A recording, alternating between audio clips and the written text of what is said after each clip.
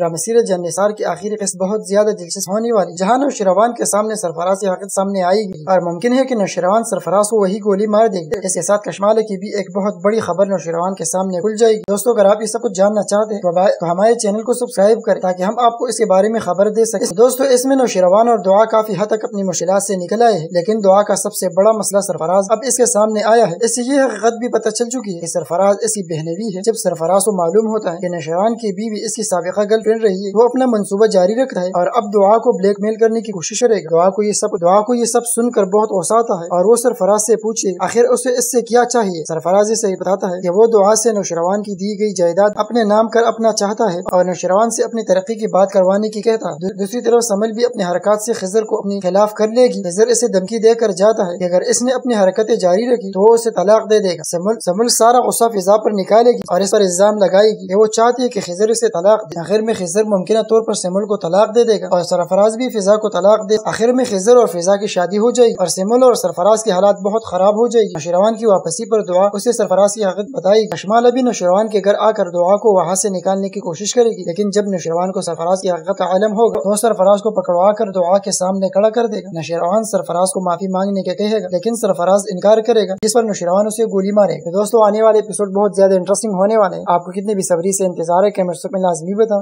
ہماری آج کی ویڈیو. اگر آپ کو اچھی لگی ہو تو لائک کریں، چینل کو سبسکرائب کیجیے. ملتے ہیں انشاءاللہ نیکسٹ ویڈیو تک کے لیے اللہ حافظ.